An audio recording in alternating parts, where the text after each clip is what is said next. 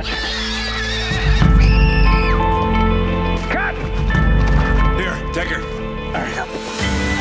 Cotton, back up! How did you learn to handle horses like that? You are a celebrity. My daddy was a preacher.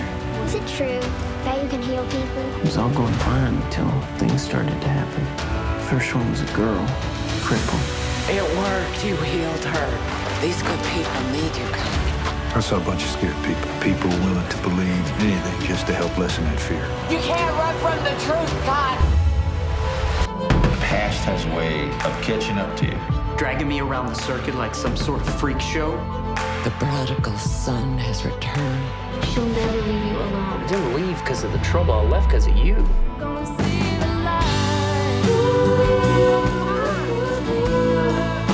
I tend to pay attention to the everyday miracles. It seems like you figured out what's worth running away from.